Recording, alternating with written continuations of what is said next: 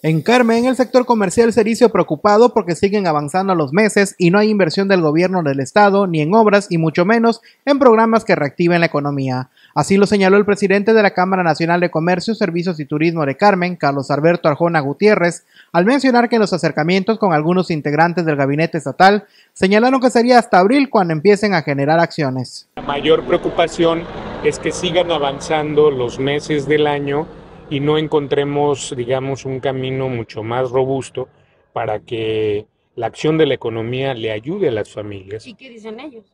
Pues están sugiriendo que el mes de abril será el mes en el que empiecen a operar las remesas de dinero público, las participaciones gubernamentales. Realmente necesitamos consolidar varias estrategias económicas en el municipio, en el estado y en el país.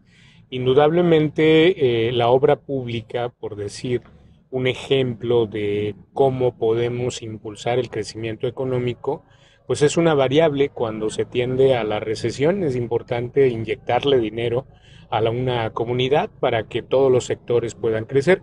Y evidentemente creo que no está siendo fácil el arranque en el país, en el estado y particularmente en Carmen. Eh, nos hemos estado reuniendo con algunos integrantes del sector público.